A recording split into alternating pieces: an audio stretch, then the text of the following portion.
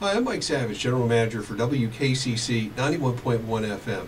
We're based here in Kankakee at Kankakee Community College, and we're the area's only nonprofit public radio station. We broadcast NPR news, classical music, jazz, and blues, and entertainment programs on the weekend. You can listen to us at 91.1 FM or online at WKCCradio.org. We know it's a tough business environment out there. We've worked out an agreement with the Kankakee Regional Chamber to offer a special promotion to chamber members. It's $50 a month. It gets you daily exposure to our affluent audience, and it's a way for your business to support public radio in our community.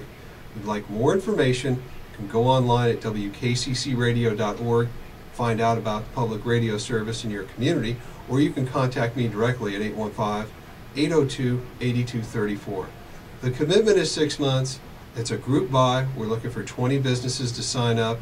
But think about what you can get for $50, what your business can get for $50 a month.